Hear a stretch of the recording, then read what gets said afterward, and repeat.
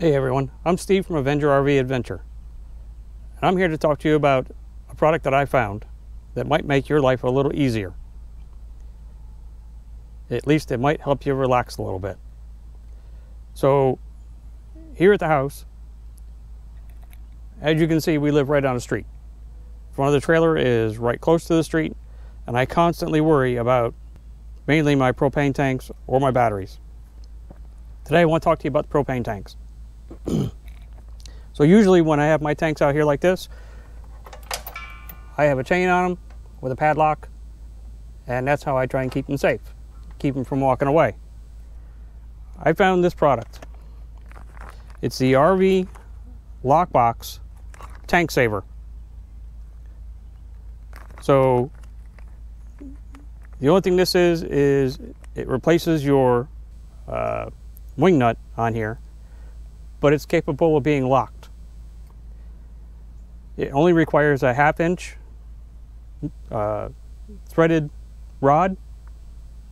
I believe you can get them in 3 eighths also. And it costs approximately $58 on Amazon. So let's take this old lock off, take the chain off, and I'll show you how to install this thing. It's quite easy.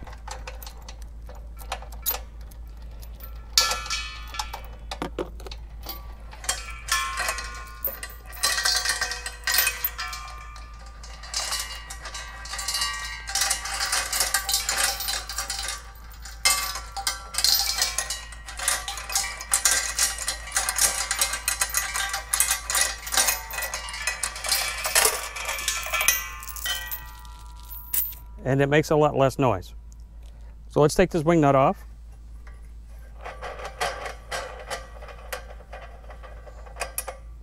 One wing nut.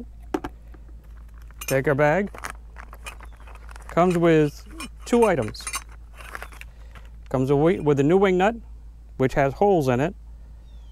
And those holes will line up with this hole so that you can throw a padlock on there. So it's simple remove your regulator, take this piece, put it on, put your regulator back on. Now all you gotta do is thread this on.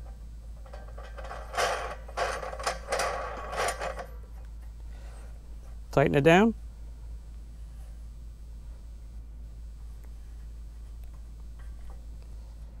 So now you just make sure that the holes are lined up, top and bottom.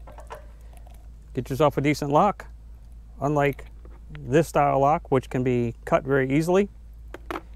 I prefer to use one of these on this.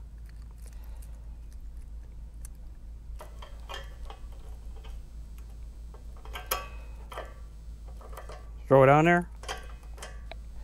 It's not going anywhere. The only way this is going anywhere is if they cut this threaded this threaded rod, which I don't think they're going to do too easily. Just got to remember where you put the key and you'll be good to go.